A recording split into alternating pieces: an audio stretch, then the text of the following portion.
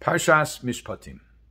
This week's Parsha contains the formulation, the famous formulation, Na'aseh V'nishma, that the children of Israel uttered as an indication of their acceptance of the Torah. Let's look at the verse, the context within which this declaration was made. We're talking about Perek Chaf Daled Pasuk Zayin. That's 24-7. It reads as follows. Vayikach Sefer Bris. This is talking about Moshe. Moshe took the book of the covenant. We'll talk about what that is in a minute. Vayikra. And he read it into the ears or into the hearing of the people. Vayomru. And they said, Kol asher diber Hashem na'aseh v'nishma. Everything that Hashem said, we will do it. And we will hear. We will listen. A couple of questions. First, as we indicated, what's in this Sefer HaBris, this book of the covenant? And secondly, the phrasing of the children of Israel seems to be the reverse of what we would naturally think is the method with which one assimilates information, which is nishma v'naseh. We will hear it, perhaps learn it, and we'll do it. Why does it say those words in the reverse? Or why did they say those words in the reverse? So first of all, let's talk about this Sefer Bris. According to Rashi, this book of the covenant was not the Sefer Torah that we have. It could not have been because many of the events that are written, recorded in the Sefer Torah had not yet taken place. What could have been written was the entire Torah up until that time. And Rashi says exactly that. Rashi says from Bereshis until this point. And it includes mitzvos that were commanded and at Mara. What mitzvos were those? For example, Shabbos was, uh, was commanded at Mara. So we have Sefer HaBris, which is a less than full Sefer Torah. It's a complete Sefer HaBris. It's a complete book of the covenant, but it's not what we call a Sefer Torah. There are still things yet to be written in the Sefer Torah that are not in this Sefer HaBris. Na'aseh V'nishma. What does Na'aseh V'nishma mean? Well, according to some, this means whatever Hashem has said so far, which is recorded in the Sefer HaBris, Nishma, we will do, Vinishma, and we'll listen to everything else that comes down the line. In other words, there's an acknowledgement that Hashem may well speak more, and he may well give additional commandments and additional lessons and additional exhortations, if you will. And the children of Israel are declaring we'll do what we have heard already, and we commit to doing in the future, to hearing in the future, what Hashem will utter, and we'll do that as well. That's one explanation. There are many explanations. We will not cover all of them. Now, the Ibn Ezra cites several, and one of them is Na'aseh, we'll do it, Vinishma, and we will study and talk about it so that we will not forget.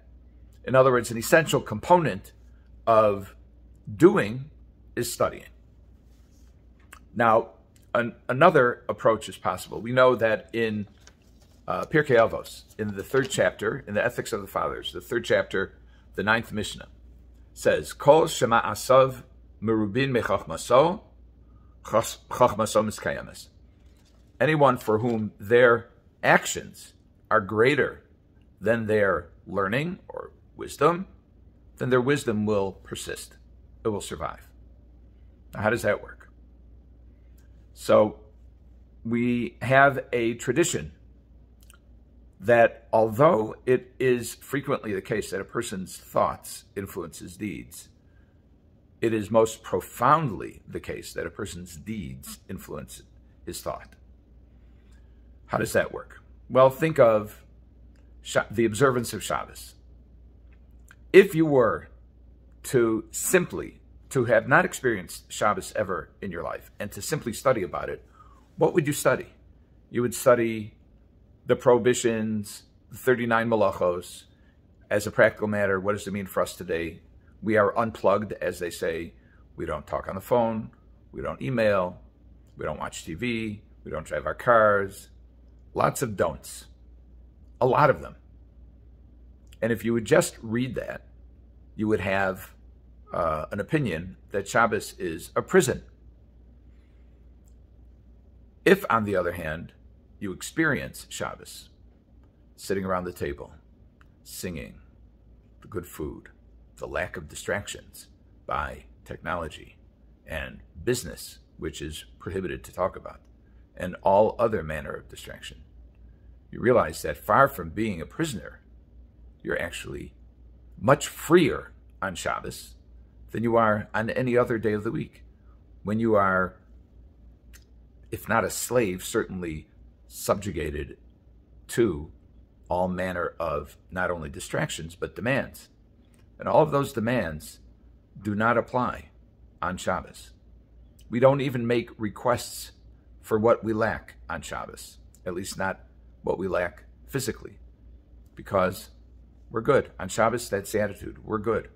We take naps. Who naps in the middle of the afternoon? I mean, some people do, but generally speaking, people who go to work, work. And they don't have an opportunity to relax. Shabbos is a complete game changer. It's literally a vacation. We are vacating the ordinary world, and we're in an island in time. Go explain that to someone who never experienced it. Shabbos is a bunch of restrictions. And that is true. It is a bunch of restrictions, but that's not all it is. And you only experience the beauty of Shabbos by experiencing the beauty of Shabbos, by observing Shabbos, not by studying it, although you can get a glimpse into studying it, but you can't experience it that way. So, in other words, experience will yield a dimension of understanding that learning alone cannot grant. This is counterintuitive and it's profoundly true. Chazal say, recorded in Sefer Chinuch and in other places, K'sav V'Kabbalah, After the actions, the heart follows, or the mind follows.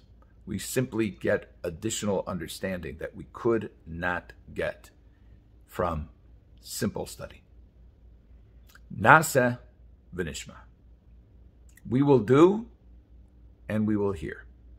As a result of our observance of the mitzvos, we will gain an additional understanding of the mitzvos and, uh, and of the will of our Creator.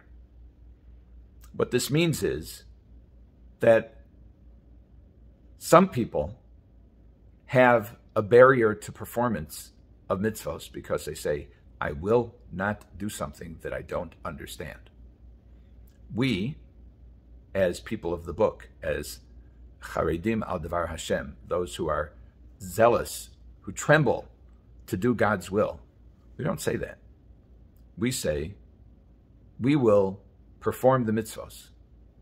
And if we're zocha, if we're fortunate, if HaKadosh Baruch Hu grants us the wisdom, that performance of the mitzvos will increase our understanding, will grant us wisdom, will create a new level of intellectual and emotional achievement and insight that we wouldn't have had before. Na'aseh v'nishma. We will do and we will hear. Have a good Shabbos.